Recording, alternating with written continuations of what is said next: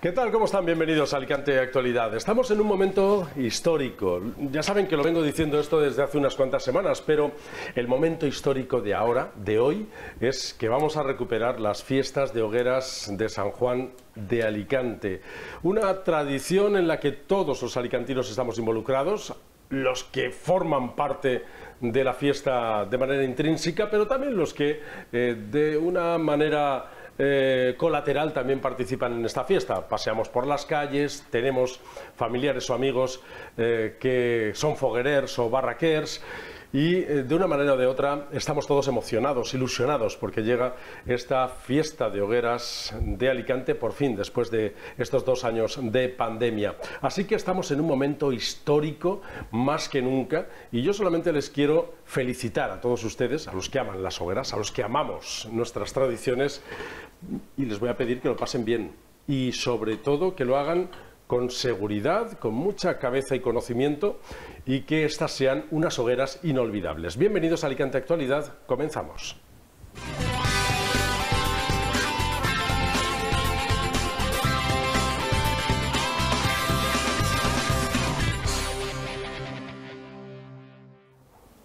En la primera parte del programa vamos a hablar de hogueras y lo vamos a hacer también desde la parte eh, de la seguridad y el control de que todo vaya bien. Vamos a saludar a nuestros invitados. José Ramón González, concejal de seguridad en el Ayuntamiento de Alicante. ¿Qué tal, concejal? Bienvenido. Muchas Pues gracias. nada, encantado de estar contigo, Andrés, como siempre. Ilusionado también por... Ilusionado, sí. ¿eh? Ilusionado y además, bueno, lo has explicado tú. Volvemos después de dos años de ausencia y, como dicen, vamos a esperar vivir las mejores hogueras que jamás hayamos conocido porque lo necesitamos. Y además vamos a vivir unas hogueras emotivas, unas hogueras que yo diría que ya en memoria de los que no están y de los que vamos Nos a vamos a acordar falta. mucho, nos vamos a acordar mucho Y de yo ellos. creo que mucha gente se va a emocionar durante estos días porque los que nos, los que estaban con nosotros en las últimas hogueras, pues algunos ya no están y creo que va a ser muy importante el poder recordarlos. Desde luego que sí, tenemos el corazón constreñido y vamos a, eh, vamos a desplegarlo. A este otro lado está Carlos Pérez, que es el jefe de bomberos de Alicante. ¿Qué tal, Carlos? Bienvenido, Hola, muchas gracias. días. Gracias a vosotros. También con ilusión, Carlos, de volver a desempeñar el papel que los bomberos tan importante hacéis durante las hogueras. Sí, sí, porque bueno, se agradece participar de la fiesta, aunque nosotros llevamos un poquito más la carga de la responsabilidad y del trabajo. Pero bien, sí, participamos, eh, sobre todo en la noche de la crema, tenemos un, un papel importante que desempeñar y bueno, intentamos disfrutar en la medida de lo posible. Desde luego que los bomberos sois un elemento más de la fiesta alicantina. Eh, a lo largo de los años se os ha dado ese, ese papel o ese reconocimiento, que ahora estamos viendo cómo también eh, ya pusisteis en marcha hace unos cuantos días, visitando los lugares donde se van a plantar los monumentos. ¿Qué, qué- qué hacéis? ¿Cuál es el trabajo previo que se hace? Bueno, eh, ahora el dispositivo se ha reforzado para ir destacando a los equipos a las hogueras que le corresponden el día de la crema. Entonces, in situ, valoran eh, los riesgos con los que se va a encontrar, la disposición de los equipos, sobre todo de los vehículos que van a incorporar a, ese- a esa intervención y eh, comprobar que, sobre todo, disponemos de agua, o sea, que los hidrantes de los que vamos a tener que, que cargar las cisternas pues estén en, En perfectas, eh, condiciones. Claro, que llevan dos años sin ser Exact- utilizados. exactamente. Sí, Esto- salvo que haya habido algún. De hecho, lo comentamos porque nos sirve efectivamente como una revisión y mantenimiento de toda la trama urbana en cuanto a la extinción de incendios. Ajá, estupendo. Eh, concejal, ¿son unas fiestas seguras las hogueras? Sí, ¿Las yo nuestras? creo que son bastante seguras y ahí están los datos. Eh, yo sí quiero decir que el jefe de bomberos, por cierto, mantenedor de la programación de la belleza infantil ¿Ah, sí? este año Sí. fue. Bueno. Eh, Sí, por lo tanto, es un foguerer más.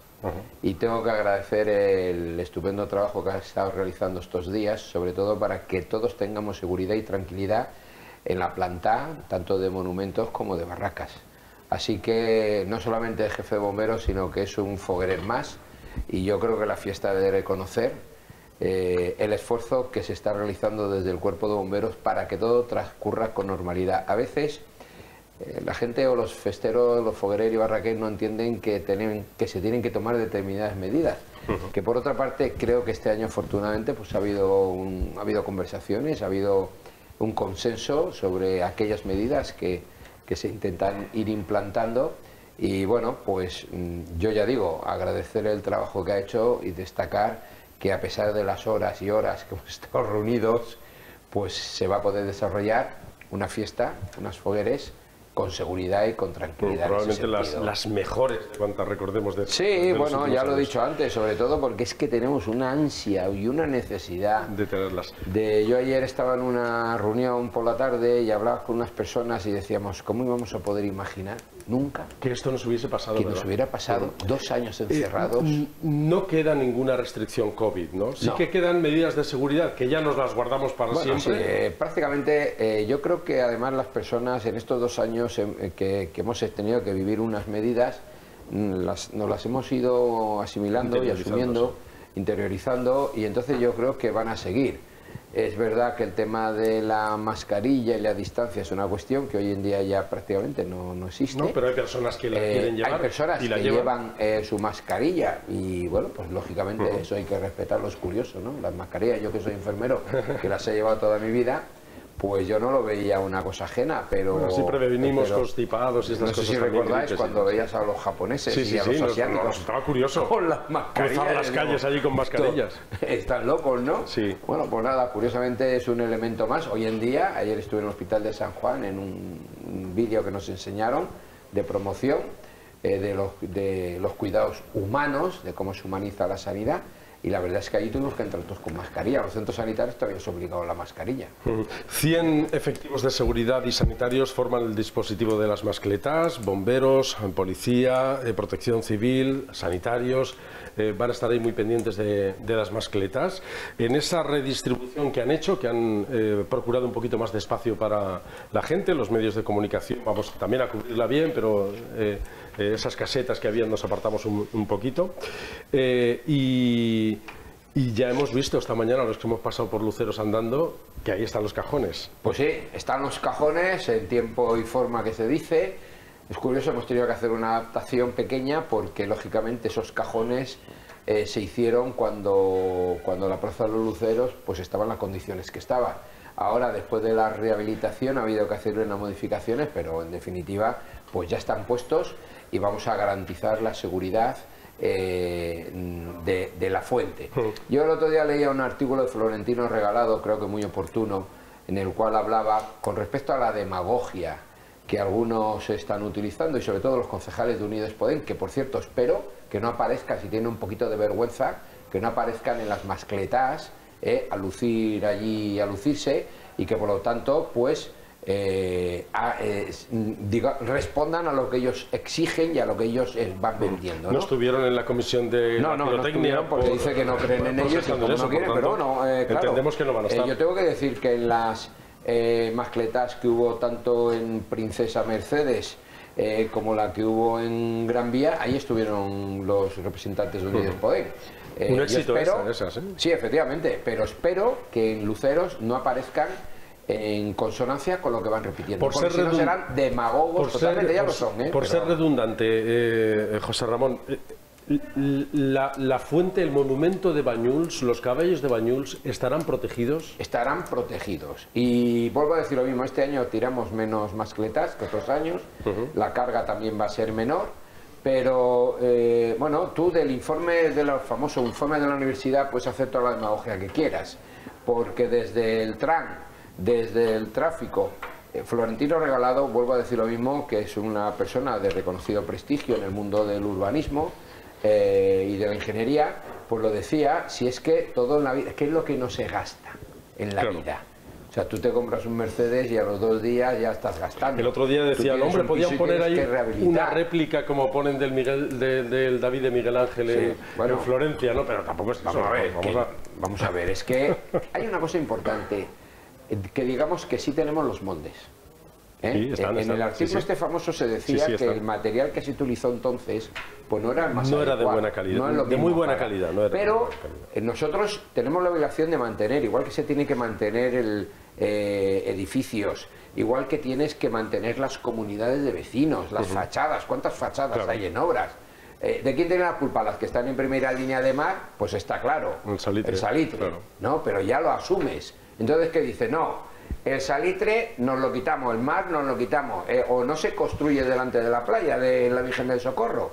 Es una demagogia la que utilizan continuamente. yo creo que hemos comprobado también, y un servidor que ha estado también a pie de calle pulsando la opinión de los vecinos, en encuestas así muy aleatorias, que la gente quiere las mascletas. la quiere y yo, yo te puedo decir que eh, hemos estado por la calle, el alcalde continuamente está en la calle, es un, un alcalde muy, muy del ciudadano, muy de calle y toda la gente, Barcala, fenomenal, enhorabuena, Luceros es más que Y punto. Bueno, vuelvo a la, seguridad eh, con, Carlos Pérez, el jefe de bomberos. Una mascleta eh, es un, requiere de un dispositivo de seguridad especial, porque confluyen dos cosas, la pólvora, el fuego, eh, los estruendos y la gente que quiere estar cerca.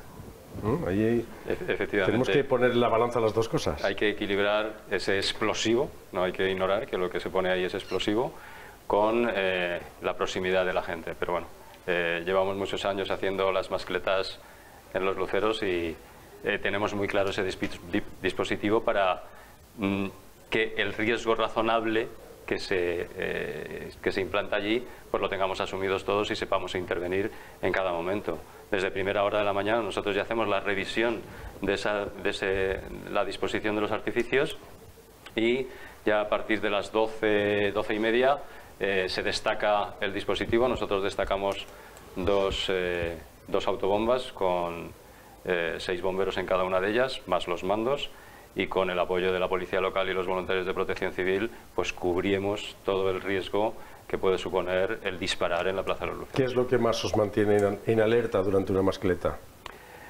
Hombre, eh, concretamente quizás el momento del terremoto final, eh, el, momento del disparo de los aéreos, no solamente se queda todo en lo que es el, el, perímetro de luceros, sino que dependiendo también de las condiciones, del viento sobre todo, pues tenemos que estar vigilantes, ¿no?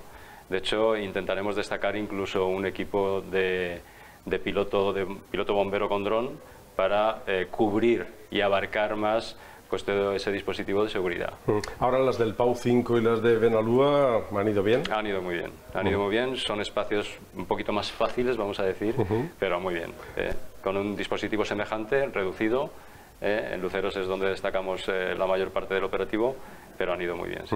Eh, recordamos que del 18 al 24, o sea que este próximo día 18 ya empiezan las mascletas de, concurso, las oficiales y, los días eh, oficiales de las mascletas en la Plaza de los Luceros. Ha sido un acierto eh, también el llevar estas mascletas a esos otros lugares donde parece que la fiesta se ha expandido, se ha abierto un poquito más. ha, estado, ha, estado, bien también aquello.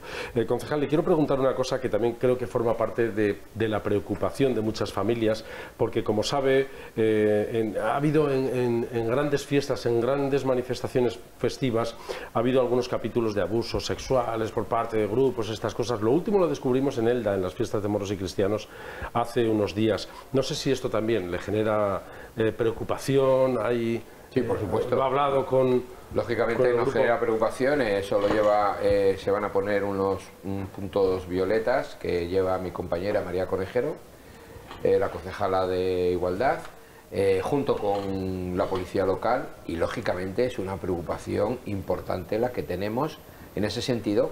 Alicante yo creo que hasta ahora no se ha producido durante las fiestas ningún hecho, pero eso no quita para que pueda producirse y desde luego nosotros vamos a luchar y a intentar evitar que eso se produzca ya digo, a través de los puntos violeta, a través del trabajo que la policía local está desarrollando, tenemos una unidad especial que es el GAVID, específica para cualquier eh, cuestión en ese sentido y lógicamente yo eh, creo, creo que en ese sentido eh, podemos tener una cierta seguridad, una cierta seguridad en que vamos a estar encima.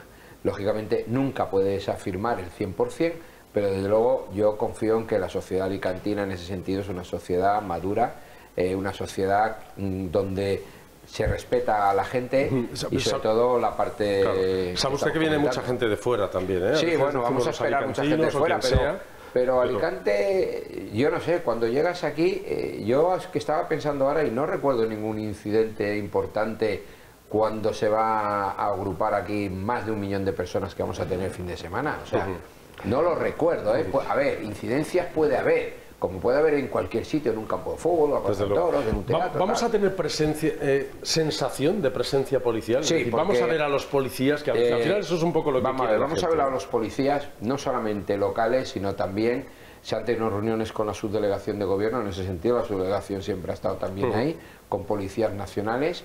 Eh, eh, ya digo, va a haber un despliegue importante en ese sentido. Yo creo que Alicante es una ciudad, como digo, segura. Eh, puede pasar en cualquier situación, cualquier En cualquier circunstancia, momento, sí. pero en principio hay que depositar la confianza en los cuerpos y fuerzas de seguridad del Estado Además- y en la policía local. Además están llevando adelante una iniciativa muy interesante que es lo de las hogueras 00 para intentar eh, bueno pues eh, Eso lo que y- lo vamos a trabajar ya en general, eso se ha quedado ya impres- impregnado. invitar a que se vivan las hogueras sin, sin Mira, hay, hay necesidad varias, de consumir alcohol. lo que son los rascos del centro sobre todo, eh, pues desde SN, Cachapí, eh, Pasito Ramiro y tal, los propios Foguerer ya tienen ya asumido, eh, interiorizado el tema del cero alcohol, sobre todo para la chavalería que sale por primera vez con 15, 16, 14 años y que bueno, descubren por primera vez que hay otra fiesta distinta a la que tenían con sus padres y madres, ¿no? Y bueno, en eso vamos, yo ya doy un aviso a esa juventud que va a estar en esos rascos en el centro, en el centro y en la ciudad en general, pero más Sí, intensidad en el centro, más intensidad, de sí. que vamos a controlar todo lo que lleve. La- hasta, como digo yo, las Fantas y Coca-Cola, la botella, que, Que no hay mezcladas abrirlas, ya, que no eh, y y- Si lo- y- y- Lo dice por los botellones, claro. Efectivamente. evitar No, que los botellones, no, porque hay gente que va a ir a Racós y va a llevar Ah, la vale, vale. bebida. Sí, sí, y va a son botellones entrar. itinerantes, ¿no? Que los llevan Efectivamente, por ahí, vamos ¿no? a trabajar en eso. Y por supuesto vamos a trabajar en los botellones, en las calas, como hemos trabajado todo el verano. Yo creo que Alicante es una ciudad que en ese sentido del 0-0 eh, ha dado muestras de un trabajo intenso por parte de la policía. Y es que de- además las hogueras con todos los sentidos se viven mejor. Sin pues claro, es que no de- hace falta alcohol de para divertirse. Yo creo que eh, yo que personalmente nunca me he emborrachado, pero eh, entiendo que la fiesta no tiene nada que ver con el Nada, alcohol. nada, absolutamente Hay gente nada. que piensa que hogueras, alcohol. Eh, me voy a estrenar las hogueras, pues me voy a beber mi primer calimocho Claro, nada, o gin tonic o cubata, lo que quiera. Cambiar el ¿no? chip. Felicidades por esa iniciativa que, que está muy bien. Mm. Es verdad que arrastrará un gran número de jóvenes. Carlos, la planta también es un momento Sí, en el que tenéis que tener especial atención, ¿no? Digamos que esa es la el se- equilibrio que, que nos empeñamos en tener en los monumentos. la segunda fase. Yo digo muchas veces que me preocupa más a partir de la planta y hasta la crema que la propia noche de la crema, ¿no? Eh, como algunas veces hemos recordado y en reuniones con el concejal, la Noche de la Crema es un gran simulacro que tiene el privilegio de hacer el, el Ayuntamiento de Alicante y la ciudad de Alicante y tenemos más de 200 personas eh, vinculadas a los bomberos para establecer esa seguridad. Pero desde la planta pues hay muchos elementos nuevos, aquí se ve la trama urbana como queda y que afecta a los riesgos que ordinariamente tenemos siempre, ¿no? Entonces es un momento que efectivamente tenemos que seguir vigilando y continuamente hasta la propia noche de la crema toda esa instalación de, de monumentos, de barracas, de racós, de calles cortadas, de adornadas, que suponen pues bueno un incremento en Ya ese hemos riesgo. visto cómo están terminando de colocar los adornos en las calles, las luces, estas cosas. No todo, todo tiene que guardar eh, sus, sus propias normas. Fíjate, Andrés, es curioso que al hilo de lo que decía el jefe de bomberos, y lo comentábamos antes, de que Alicante junto con Valencia, pues somos expertos en el fuego en la calle. O sea, quiero decir que esto, eh, yo recuerdo cuando hemos ido a, a intentar quemar a otras ciudades, la última Zaragoza, cuando les decías en la Plaza del Pilar, ¿cómo que en la Plaza del Pilar? Ahí no se puede quemar nada. No, hombre, que hay una distancia, que que no, que no, que no. Incluso es- aquí tenemos confluencias, cruces, donde ponemos lonas, donde eh, eh, al mismo tiempo que está el fuego estamos mojando Es- la está manguera. mojando la manguera, sí, es verdad. Tenemos una experiencia muy importante y que, y que eh, hay ciudades y hay otros cuerpos que preguntan, ¿no? Porque efectivamente son expertos en el fuego en la calle. ¿eh? en, en Fuego sofocarlo, lógicamente. el fuego controlado en un perímetro. Y eso es un trabajo muy importante y que pocos cuerpos de bomberos, ya no solo de España, sino de Europa, están capacitados Desde luego, para hacer porque eso. claro, la temperatura que llega a alcanzar el fuego y probablemente los edificios que hay cercanos, Sí, la, la radiación es una- un tema a considerar. Nosotros llevamos una equipación especial, un equipo de protección, lógicamente que no lleva la- el público y los espectadores. Entonces, tenemos la posibilidad de aproximarnos mucho más. La, transmisión en la fachada no es tanto como a lo mejor la gente piensa. De hecho, hubo un año que tomamos temperatura a la fachada del ayuntamiento en directo en, eh, mientras estaba la hoguera oficial eh, quemándose. Y bueno, pues el máximo que llegó a alcanzar la fachada eran 60-70 grados en el, en el, en el máximo eh, de máxima temperatura. Ahí los cristales, estas cosas no corren no, no riesgo. Corren, no corren riesgo. Ten en cuenta que un día caluroso en Alicante llegamos a alcanzar los 40, 40 y tantos grados. ¿no? Y probablemente en un cristal ya eso. Esa radiación también se transmite todos los días.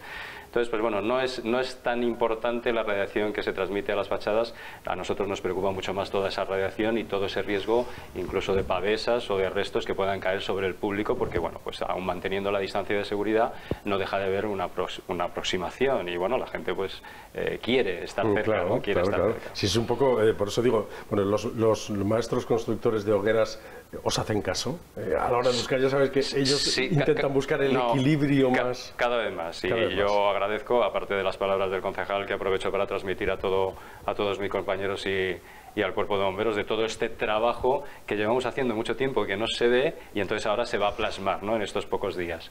Y los maestros de hogueras y todo el mundo que participa en la fiesta cada vez tienen más en cuenta todas esas medidas que vamos señalando, que vamos imponiendo o que vamos A la hora de diseñar ¿no? esos equilibrios imposibles que a veces hacen con las propias... Hay todo tipo de artistas, ¿no?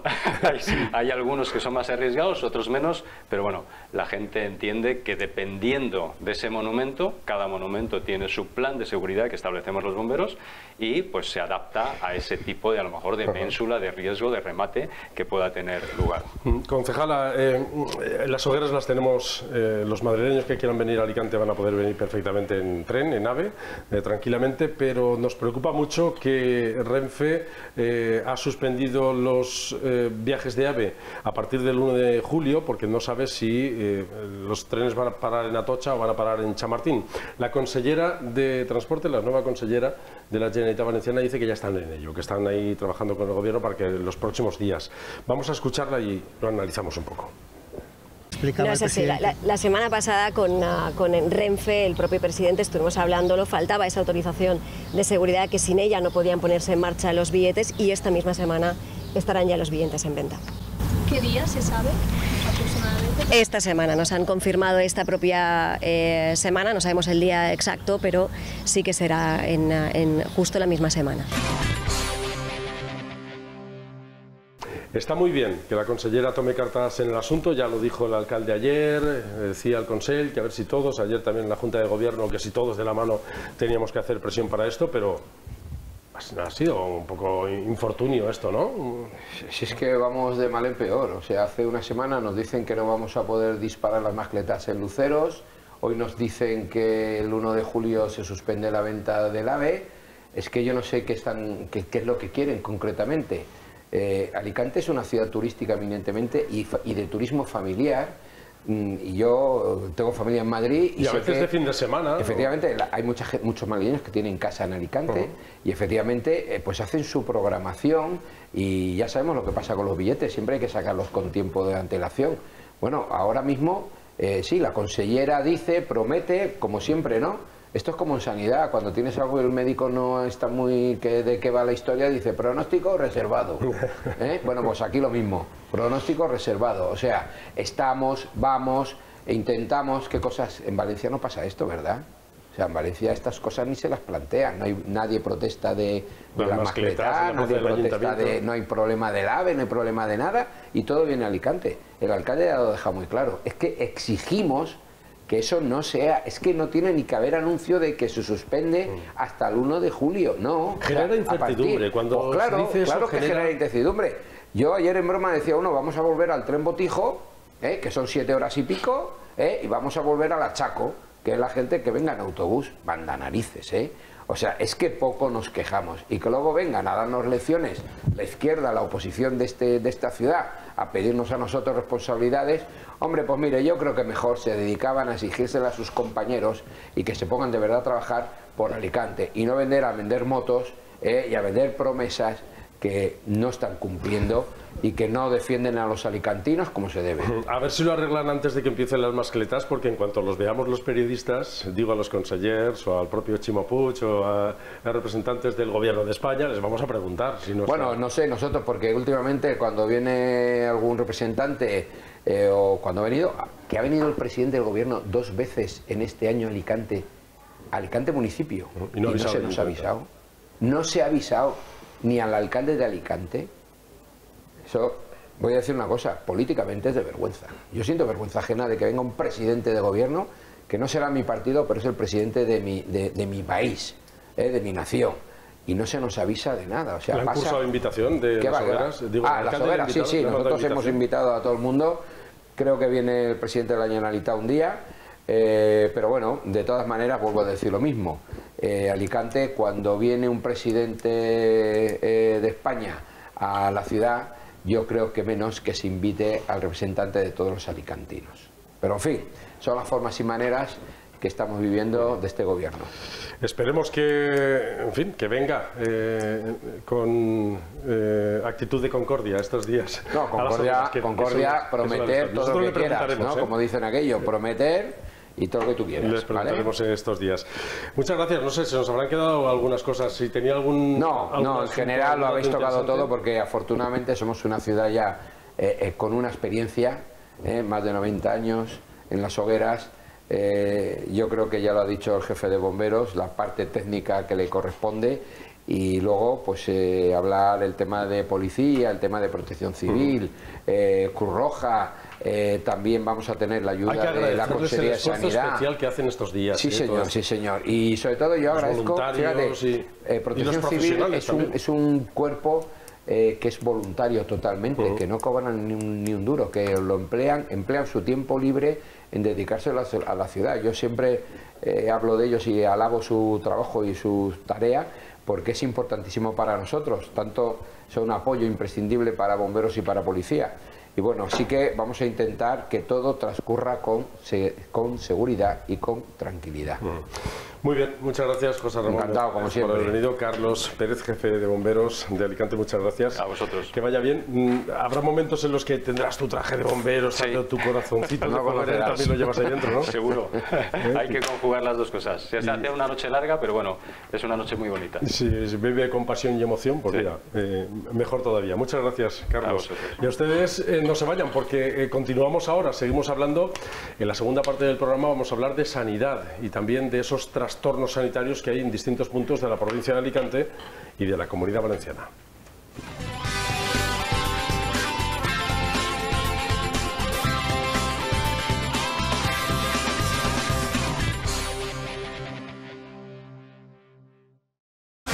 Cirque du Soleil llega a Alicante con Lucia, el espectáculo que celebra la vuelta de la compañía a Europa.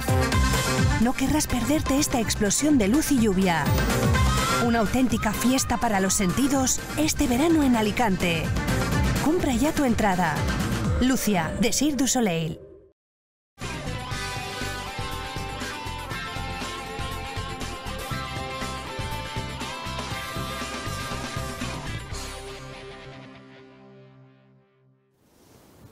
Continuamos en este programa después de hablar un poquito de las hogueras, de profundizar en esas actividades que tenemos durante los próximos días. Vamos a entrar ya en el plano político y hablar de aquellos asuntos que, que seguramente forman parte del debate que ustedes tienen en las cafeterías o en los bares o en los lugares donde habitualmente hablan con sus amigos y familiares. Abrimos el plano porque vamos a saludar hoy a Ana Vega, presidente de Vox en la provincia de Alicante, síndica en las Cortes Valencianas. ¿Qué tal, Ana? Bienvenida. Muy buenas noches, muchas gracias. Encantada de Gracias. estar aquí otra vez. Muchas gracias por estar con nosotros. Ya José Juan Zaplana, portavoz de Sanidad del Partido Popular de la Comunidad Valenciana en las Cortes. ¿Qué Muy tal, buenas, José Juan? ¿qué tal?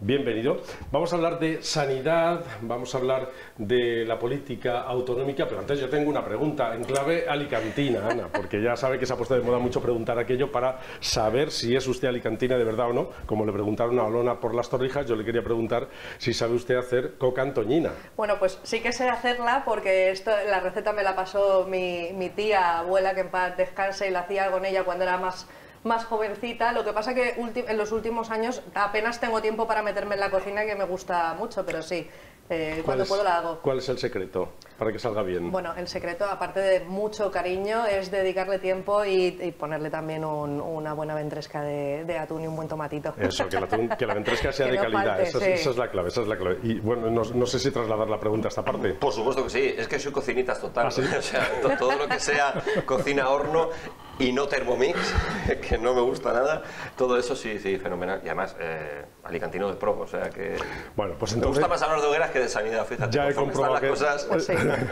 ya he comprobado que tenemos a dos alicantinos en la mesa y por eso queremos hablar eh, en clave autonómica, pero siempre con el gancho alicantino de por medio. Eh, para hablar de sanidad, eh, los dos están pues muy al corriente de qué es lo que está pasando en la sanidad en la comunidad valenciana, en la provincia de Alicante en particular, que es a lo que nuestros espectadores más les llega. En fin, tenemos varios frentes abiertos. El otro día estábamos hablando aquí del hospital de la Marina Baixa, donde faltan pediatras, eh, donde mm, ya no pasan consulta de algunas especialidades y también estamos muy preocupados por el hospital de Torrevieja y por otros eh, asuntos relacionados con la sanidad, ahora que se acerca el verano, porque todavía no conocemos, no sé si, si ustedes lo conocen ya o no, cuál es el plan de la Generalitat, de la Consellería de Sanidad, para suplir los turnos de vacaciones de estas de este año. Yo mucho me temo que no va a haber plan de verano. Eh, todos los años por estas fechas, justo antes de hogueras, se publica por parte de la Consellería un plan de sustitución de verano, sustitución, refuerzo y apertura de centros de costa.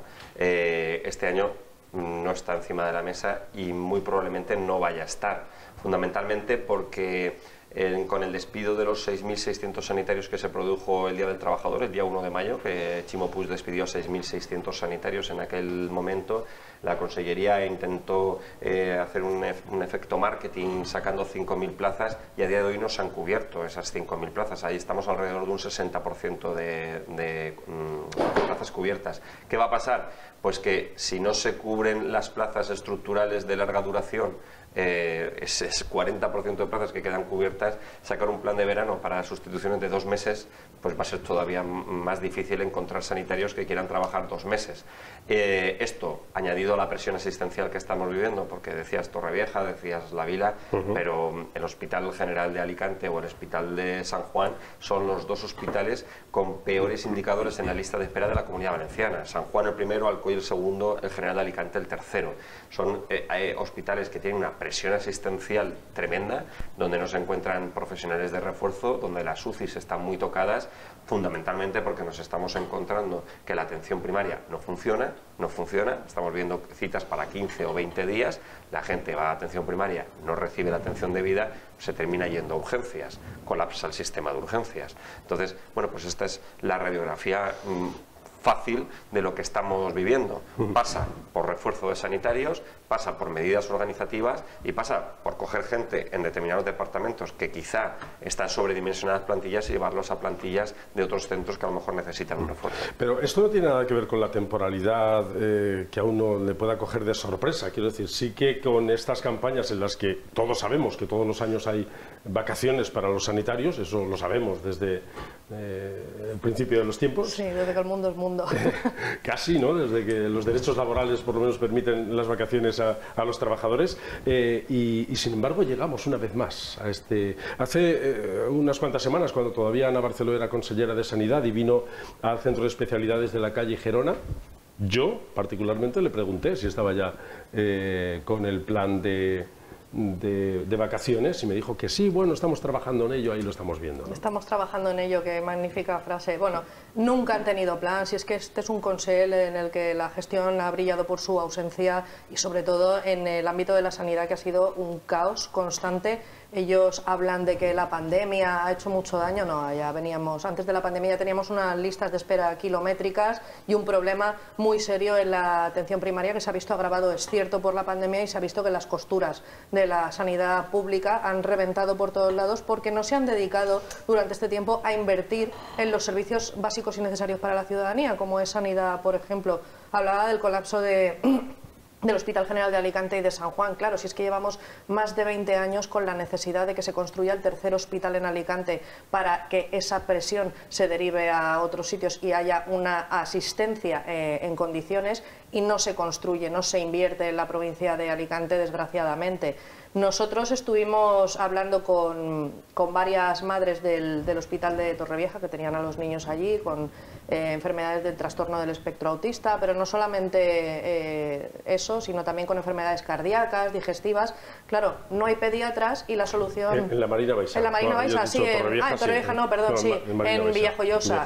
Y la solución que les dan desde Sanidad es, bueno, pues cuando su hijo tenga eh, una crisis, un brote, lo mete usted en el coche y se lo lleva al hospital de San Juan. O sea que yo tengo que conducir con mi hijo con un trastorno del espectro autista grave, con una crisis, 60 kilómetros desde Villajoyosa hasta San Juan. Esa es la solución que me da la Consellería de Sanidad. Pues muchas de las personas no estarán pensando. Y el problema de los centros de salud este, este verano va a ser muy grave porque ya no es solamente que llevan anunciando, creo que llevan ya 18.000 sanitarios que van a, contratar ¿no? con, ese, con ese anuncio de, por triplicado pero es que las bajas no se van a suplir, no hay plan y el problema es que la propia Consellería ha admitido que no hay sanitarios en las mm. bolsas de trabajo. Mm. Entonces veremos cómo se soluciona Claro, una pregunta que me surge a mí, y ustedes son alicantinos, que les he hecho el test de alicantinidad antes de empezar.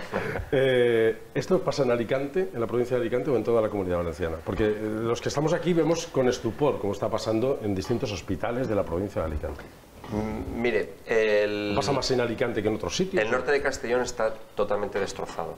Castellón está destrozado. Eh, la asistencia sanitaria en el general de Castellón, en el Hospital Provincial de Castellón y en Minarós, sobre todo en Minarós, está totalmente destrozada. Está a un nivel equiparable con lo que está pasando en Marina Baja o lo que está pasando en Torrevieja, que ahora hablaremos de eso, y es una situación dramática. El cinturón de Valencia está como más protegido. Tiene un hospital referencia, que es el Hospital de la Fe, con, que es el buque insignia de la sanidad valenciana al nivel internacional y a nivel nacional, una, con una referencia importante. ¿Qué es lo que deseamos aquí también. Claro, y la fe hace un poco de, colchón de todo lo que está pasando en el cinturón de Valencia.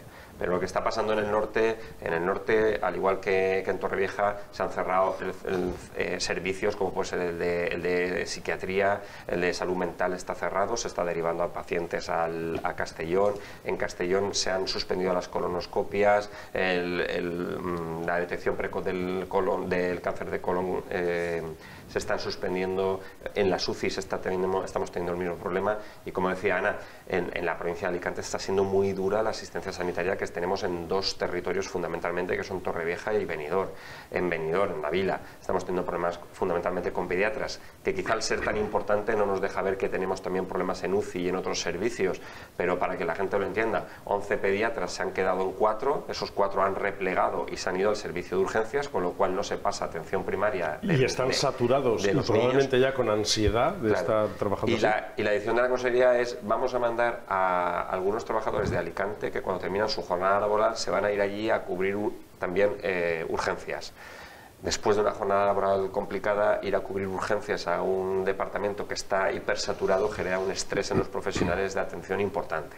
En Torrevieja está pasando tres cuartos de lo mismo y quiero destacar que son dos departamentos que dentro de 15 días, cuando termine el cole, en Madrid, Torrevieja va a disparar su población por cuatro o por cinco. Claro, eso iba a decir yo. Es decir, que estamos hablando de poblaciones eminentemente turísticas. Torrevieja, Benidorm, La Vila, que multiplican su población justo en los meses que los sanitarios, como todos los trabajadores, se toman vacaciones, vacaciones. Con lo cual, menos sanitarios, más población para atender. Si en estas circunstancias de ahora mismo los servicios están colapsados, yo no quiero ser agorero ni quiero generar ningún tipo de alarma. Lo que quiero es poner el sistema en alerta, que no es lo mismo que alarma. Pero tienen que hacer algo porque en 15 días es muy probable que lo que estamos viviendo hoy, si hoy ya lo denominamos infierno sanitario, lo que vaya a pasar dentro de 15 días ya no sé ni cómo lo vamos a poder. No queremos generar alarmas innecesarias, pero sí es verdad, como dice José Juan, eh, alertas, porque quien estuviese viendo el informativo de 4 con Roberto Alce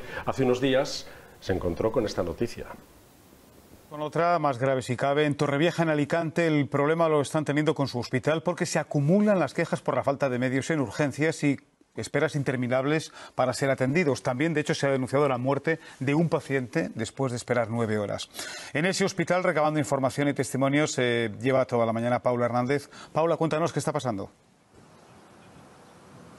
Buenas tardes, Roberto. Pues lo que está pasando es que hace falta personal sanitario que atienda el volumen de urgencias diarias en este hospital. Hemos estado hablando con varios afectados y uno de ellos nos aseguraba que llegó a esperar 23 horas hasta que fue atendido, pero es un problema que viene de lejos. Este hospital hasta el pasado mes de octubre estaba gestionado por una empresa privada y fue entonces cuando pasó a manos de la Generalitat con el reto de ofrecer estos servicios sin conflictos, pero nada ha cambiado y las consecuencias son terribles. Como comentabas, hace unos días fallecía un varón de 59 años tras esperar nueve horas en urgencias.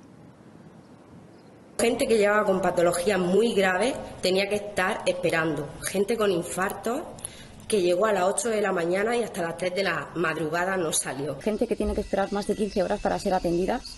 Gente que incluso se lleva almohadas, se lleva comida, eh, necesitamos que nos escuchen, ser escuchados, eh, denunciar esto. Esto va a llegar el verano y se va a poner caótico. Es un poco lo que estamos diciendo, va a llegar el verano y se va a poner caótico. Hay una pequeña inexactitud en lo que dice la periodista porque dice, llegó eh, la Generalitat para intentar solucionar estas... No, no, es que no había ningún problema cuando el Riviera Salud llevaba la gestión del hospital de Torrevieja. Es más, era uno creo que tengo yo esa información, era uno de los referentes de la comunidad valenciana. El hospital de Torrevieja era una concesión, era un hospital público, gestionado por una empresa, pero público. La gente allí acudía como cualquier otro servicio, gratis, eh, lo único que no eran funcionarios era personal laboral.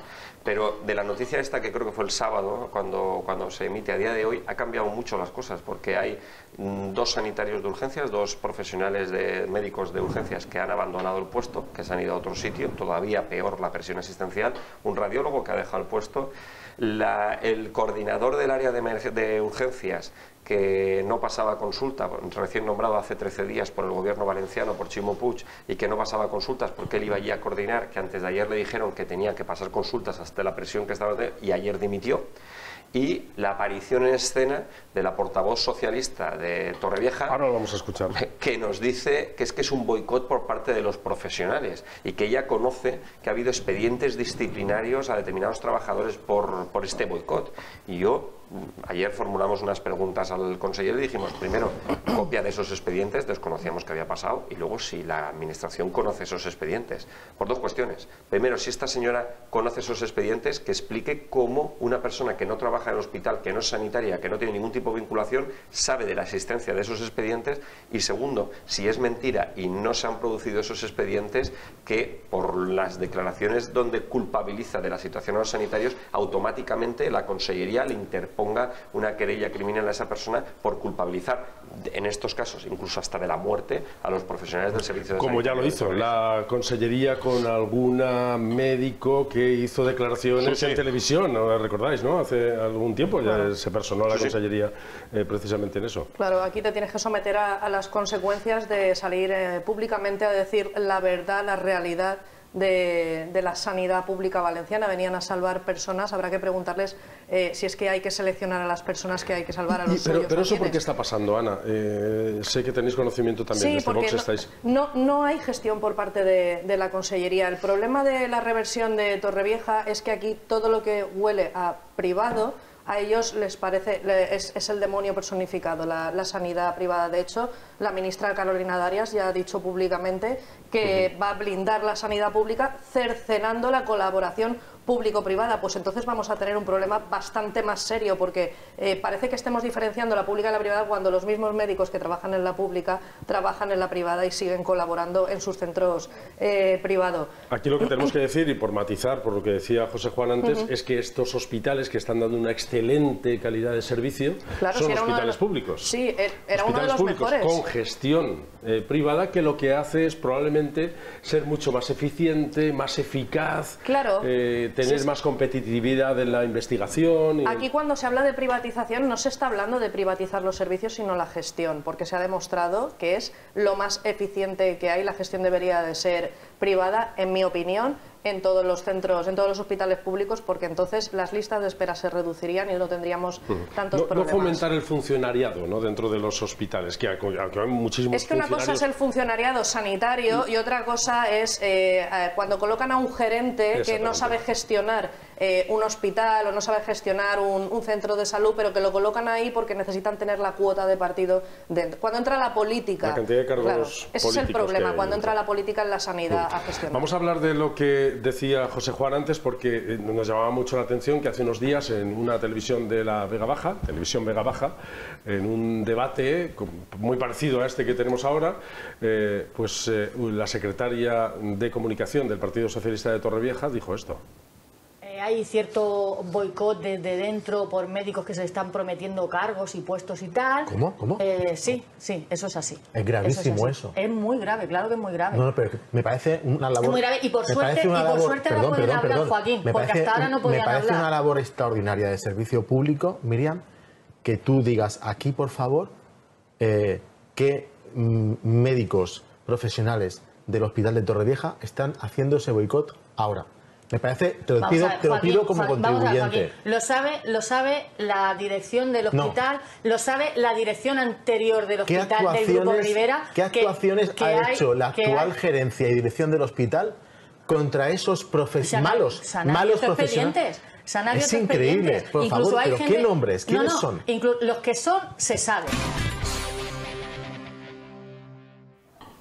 O dice los nombres y los pone encima de la mesa o tendría que dimitir, ¿no? Quiero decir que, no se puede insinuar esto. Esta señora no es nadie es la portavoz del Partido Socialista en Torrevieja. Eh, esto es esta persona que tenga acceso a esa información es sorprendente, porque esa información no es pública. No lo sabemos los portavoces de sanidad de las Cortes Valencianas, que estamos todo el día en esto, no sabemos cómo esta señora tiene acceso a eso. Si es verdad. Pero está acusando de boicot, dice, a, algunos a los que se les ha prometido cargos. ¿no? Claro, el problema es que, como usted dice, el problema está en que la acusación es muy grave, porque además eh, la conversación sigue, además pone, pone foco, pone el centro de salud de la Loma, donde se está derivando a gente que puede tener un tratamiento fácil en atención primaria, se está derivando a posta a, urgencias, para colapsar las urgencias. pone nombre y apellido a los sanitarios. Es brutal lo que dice esta señora. Entonces, automáticamente lo que hemos pedido es o, una desautorización o que en verdad digan si eso en verdad se está produciendo y esos expedientes eh, disciplinarios a quién se les ha abierto. Pero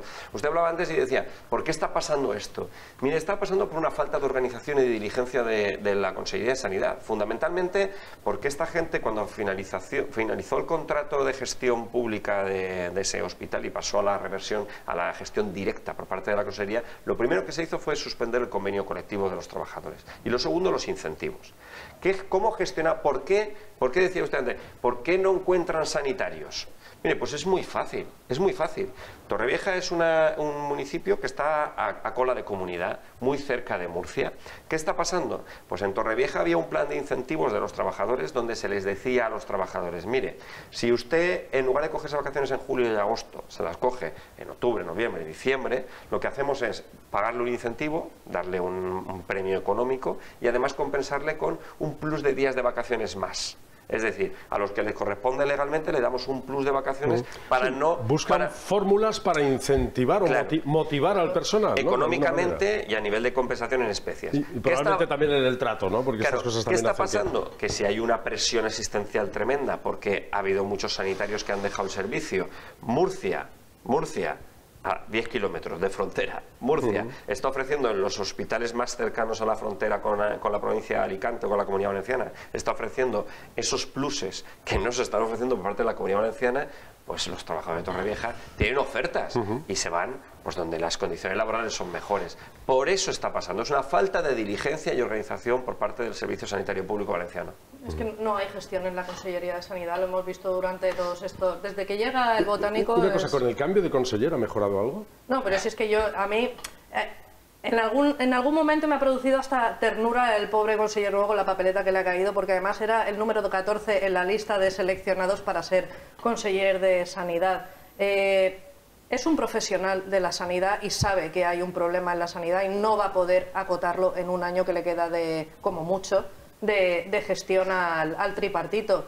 Eh, el nuevo conseller puede poner toda su buena voluntad encima de la mesa, puede dialogar con los sectores, pero no se va a solucionar una cosa que es, un problema de raíz. Las listas de espera son un problema de raíz, no se solucionan en una semana. El problema de la reversión de Torrevieja es que debería volver a la gestión eh, privada. El problema es que ahora quieren revertir Denia también. lejos de eso, lo que están es ya poniendo el foco en Denia. de que lo van a revertir, claro.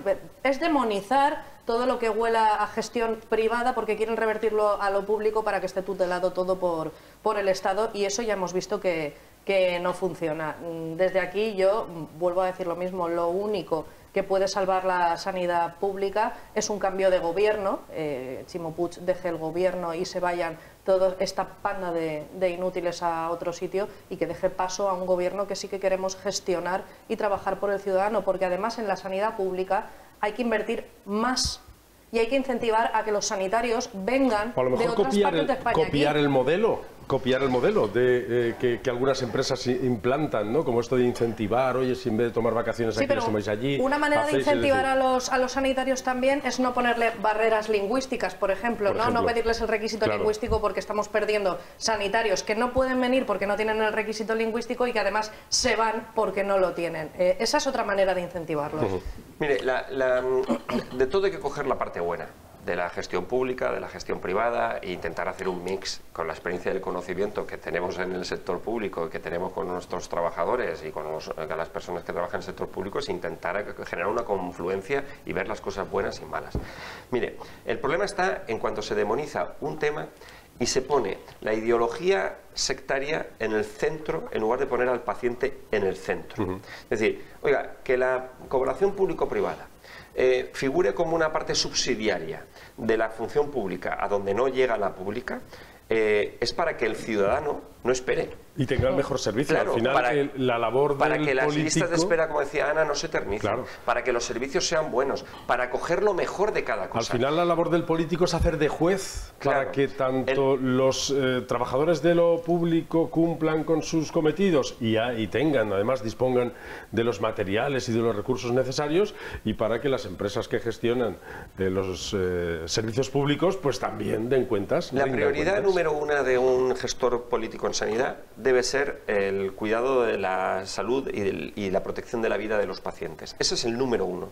Y luego tiene que utilizar todos los recursos a su alcance, sean públicos, sean privados, porque el, bien, el bien es la vida de la gente. No, el bien no es mi ideología sectaria porque yo pienso que lo mejor es hacer una empresa pública o lo mejor es hacer no sé qué, porque al final el problema está en que eh, terminamos hablando de lo que, de lo que necesitan para satisfacer su ego y su satisfacción eh, eh, ideológica y no tanto las necesidades de los pacientes. Me he dejado para el final la traca final, como hacemos en las hogueras, ¿no? El, bombazo eh, eh, que en las mascletas hacen los maestros pirotécnicos. Y es, decía Ana, a ver si Chimo convoca rápidamente elecciones. Esto va a depender también de cómo vaya el caso de Mónica Oltra, porque la Fiscalía ya respalda la imputación de la vicepresidenta y líder de Compromís. Ahora falta que el Tribunal Superior de Justicia se pronuncie. El presidente del Partido Popular de la Comunidad Valenciana, Carlos Mazón, también presidente de la Diputación, dijo esto ayer mismo.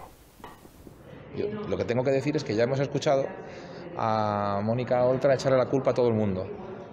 Primero intentaron echarle la culpa a la pobre Maite, que salió esposada de allí, que ha sido la única víctima de esta supuesta cacería.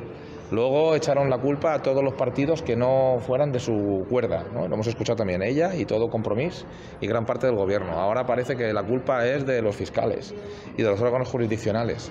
Bueno, pues oye, se ve que es que todos tenemos la culpa de todo lo que ha ocurrido. Eh, creo que eh, merece una reflexión, sobre todo por quien la mantiene, que es Chimo Puig. Ana Mónica Oltra tendría que haber dimitido bueno, hace muchísimo tiempo ya. Eh, vamos a ver, a ver nosotros eh, diferenciamos claramente cuál es la parte jurídica de, la política. Aquí las responsabilidades jurídicas se dirimirán. El informe de la fiscal es demoledor, y la fiscal no es sospechosa de ser de extrema derecha, las cosas como son pero nosotros le hemos pedido por activa y por pasiva responsabilidades políticas porque ella es la máxima representante de la Consellería de Igualdad y Políticas Inclusivas. Ella tenía que cuidar de esa niña y permitió que el depredador sexual estuviera cerca de esa niña después de haber cometido los abusos, aún siendo más grave que era su entonces marido con el que convivía cuando se produjeron eh, los abusos. No nos creemos que si 13 funcionarios eh, conocían todos los hechos, Mónica Oltra no conociera los hechos hasta que llevó la notificación del juzgado a su casa. No nos lo creemos, porque entre otras cosas son miembros algunos de, de la ejecutiva de Compromís y no me creo yo que no hablen entre ellos. Tampoco me creo que su marido eh, lo apartaran de, su trabajo y no llegara y le dijera a su mujer, cariño, me han apartado de mi puesto de trabajo porque me imputan esto. No, me creo que no haya diálogo entre un matrimonio. Es complicado. Eh, Mónica, en unos días vamos a saber el, tema de la imputación, que es muy previsible que, la imputen con lo, con lo, que hay en el juzgado Pero ella ha dicho que no va a dimitir. No, y además ha dicho que, además conociendo ya el informe, ya viendo lo que pone en el informe de fiscalía, entonces ahora es cuando no va a dimitir. Ella eh, se está haciendo la víctima y aquí hay que recordar que la única víctima que hay es una niña menor de 14 años que sufrió abusos sexuales por el marido de Mónica Oltra, es la única víctima que llegó, como ha dicho Carlos Mazón, esposada a un juicio que tuvo que pedirle perdón a la juez. Y no es la juez la que le tiene que pedir perdón, le tiene que pedir perdón Mónica Oltra por lo que le está haciendo, porque la única persecución que hay es la persecución que hay por parte de toda una consellería, toda la maquinaria de la consellería hacia una niña que está sufriendo una tragedia gravísima. Nosotros desde Vox estamos como acusación eh, popular en los juzgados y vamos a seguir muy beligerantes las Cortes Valencianas, porque es que es eh, indigna de ser una representante pública, Mónica Oltra. Eh, la vocación de servicio público pasa porque en el momento en el que se pone en cuestión ya no solamente lo que está sucediendo, sino la gestión de toda tu consellería, porque son los centros de menores, son los centros de mayores, es la dependencia, son las discapacidades, tendría que haberse ido a su casa hace mucho tiempo. Y lo recuerdo y lo digo muy claro Mónica Oltra no es ninguna víctima. Aquí solamente hay una víctima que se llama Maite. El discurso que victimiza a Mónica Oltra forma parte del argumentario de todo compromiso, ahora mismo. Mira, el gran fallo de todo esto es el yo sí te creo, hermana.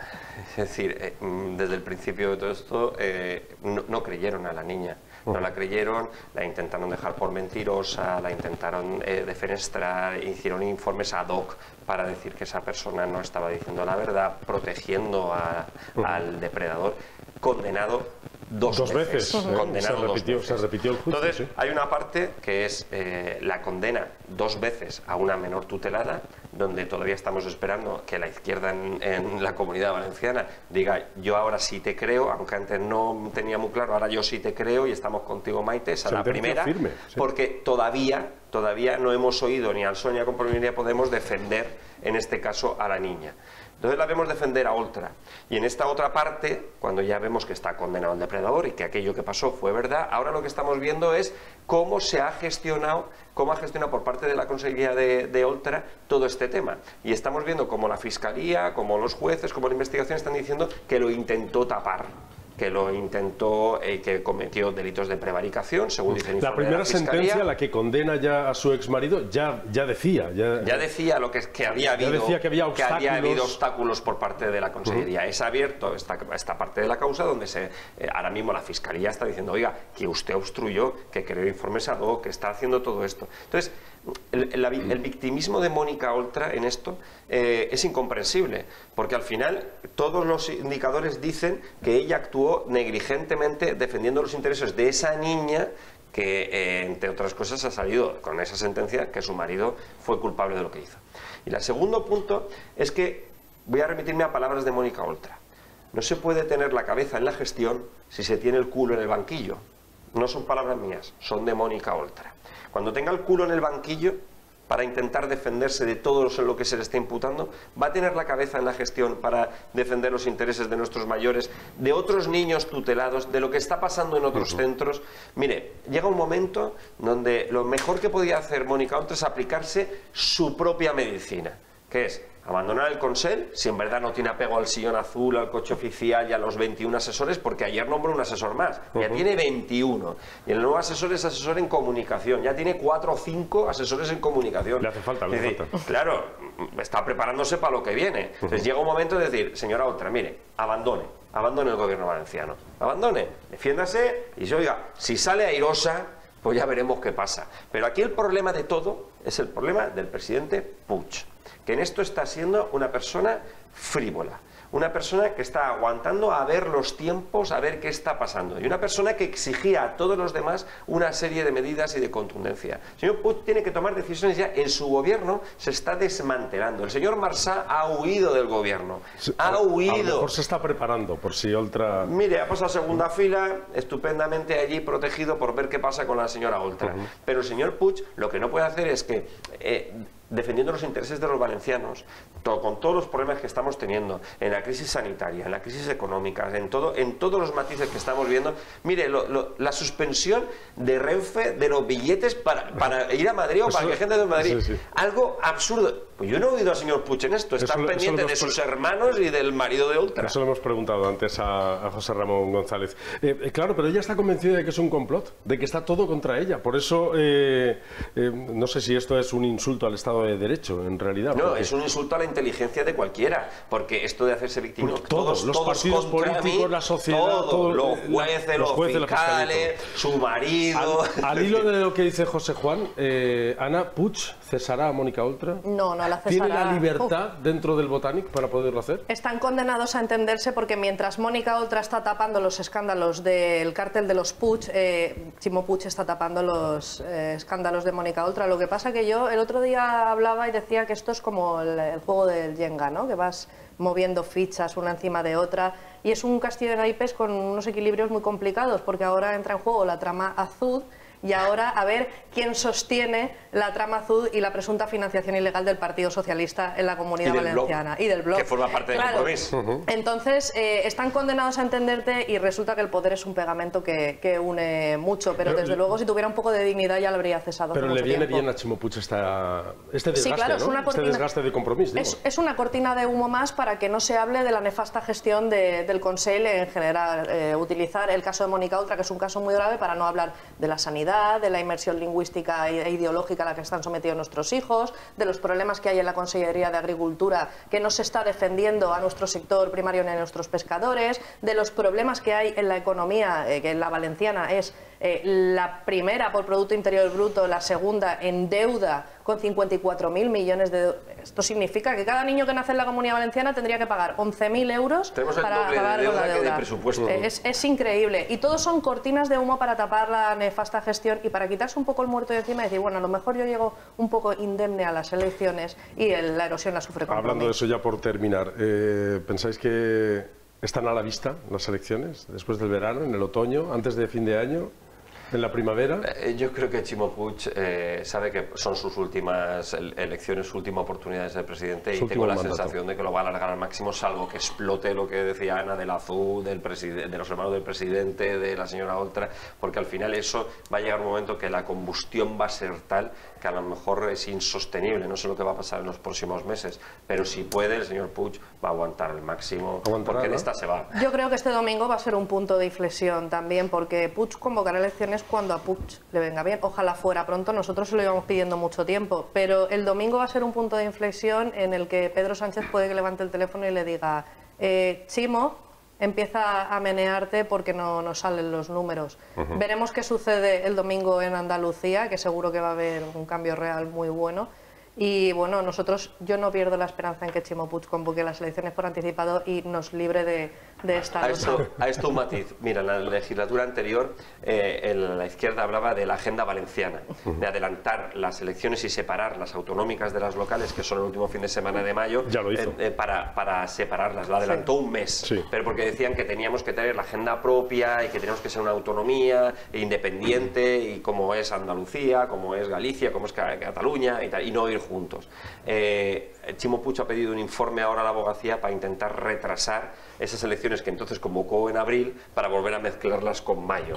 Eh, agenda, valenciana o, agenda, agenda, Pues muchas gracias a los dos. Eh, veremos lo que pasa en Andalucía. Están, estarán muy pendientes, ya lo sé, que están muy pendientes de, esas elecciones que, en fin, prometen por lo menos mucha emoción hasta el final. Que les vaya bien. Ustedes están condenados a entenderse también ¿eh? en la comunidad valenciana. Ya sé que personalmente se llevan bien, pero sus partidos están condenados a entenderse. En la política lo importante es centrar las políticas en los ciudadanos. Los partidos tenemos que entender todos. Y si llegamos a una confluencia en sanidad, pues estamos en un 90% de cosas que pensamos igual, en otras áreas a lo mejor estamos en un 60, un 40, un 50, depende del área, pero evidentemente yo creo que tenemos un objetivo común, hablo por los dos, pero que es que la izquierda no siga gobernando la Comunidad Valenciana, porque eso es el mayor catástrofe que hemos vivido en los últimos años. Muchas gracias. Muchas gracias. Lo de que los partidos están condenados a entenderse depende. Nosotros solamente podríamos entendernos con un aliado natural que es el Partido Popular para entrar en gobiernos, porque evidentemente nunca entraríamos en gobiernos con la izquierda porque ya estamos viendo las políticas que hacen. En otros programas entraremos más a fondo en este punto en particular, ¿no? Porque ya Vox lo que sí que está reclamando es responsabilidades de gobierno. ¿eh? Sí, claro, ya lo ha dicho Macarena. Sea un diputado, sean 20 los que necesite Juanma Moreno, o entramos en gobierno o no habrá Trasladaremos ese debate a la Comunidad Valenciana, pero será en otro programa. Gracias, José Juan Zaplana. Muchas gracias, Ana Gracias. A ustedes también muchas gracias por su atención. Espero eh, haberles dado los suficientes argumentos como para que ahora continúen hablando en sus casas y en los lugares donde habitualmente analizan estos asuntos. El próximo programa estaremos aquí de nuevo.